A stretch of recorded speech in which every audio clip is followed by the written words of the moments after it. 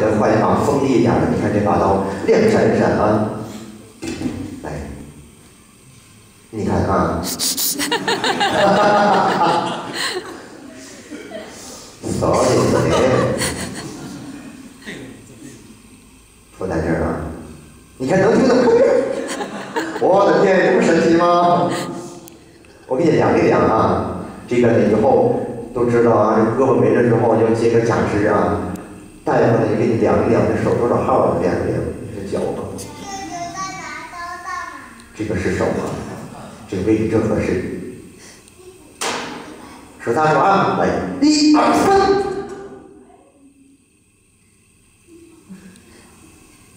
有没有人觉得这个美女啊什么的或或者这把刀有毛病？有人觉得吗？谁是什么？刀怎么会毛病？哎呀！只是想伸缩道具刀啊，这个这个非常不错啊。然后我这边有一个小礼物要送给大家，我也不知道能不能听懂，但是通过我这个这个肢体的表达，一定会听懂的啊。